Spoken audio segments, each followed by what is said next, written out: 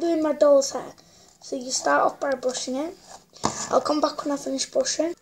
So I finished brushing, so you gather up all of the hair. I'm doing my Rapunzel. You put it in a pony or plait, whatever. I'll come back when I've finished. Then after you um, put it in the ponytail, you give it a real tight. And then you brush it once more, hold it by the pony.